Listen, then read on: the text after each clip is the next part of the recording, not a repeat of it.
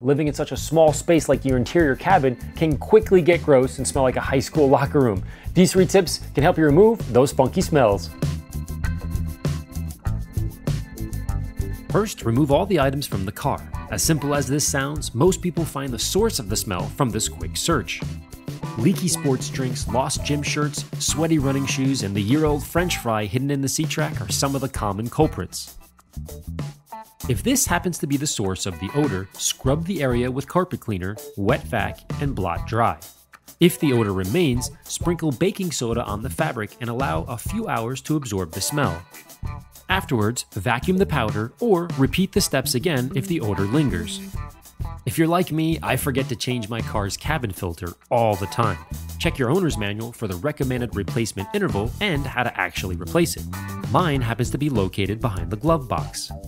Similar to your engine's air filter, the cabin filter cleans your vehicle's HVAC system to prevent pollutants like pollen, dust, and mold spores from entering the cabin. However, as the interior smell circulates the HVAC system, it penetrates the paper filter and may cause it to smell. Then, when you turn the blower or the fan on, the smell blows through the filter and back into the cabin. So the next step is to find and remove the old cabin filter, but don't replace it just yet. For really bad odors, removing and replacing the cabin filter may not be enough. The vents themselves may still have lingering odor or mildew and will continue to fill the cabin with funky air when the fan is turned on. Likewise, the AC condenser is a breeding ground of mold due to the moisture it creates during operation. First, make sure the car is off, then take your vent cleaner and spray it in all the vents, including the intake opening on the inside of the car, usually found in the footwells, and the outside fresh air intake, usually located in front of the windshield under grates to prevent leaves and junk from entering. Next, start your car and put the AC on full blast with recirculation on.